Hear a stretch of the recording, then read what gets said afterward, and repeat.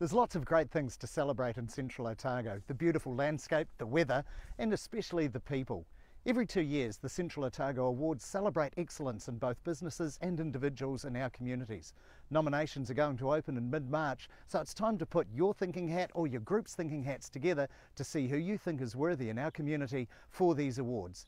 There are five categories there's Business Excellence, Apprentice, Community Services Awards, the Youth Award for those aged between 13 and 20, and a new award this year, Young Professional. That's for professional people aged between 21 and 35.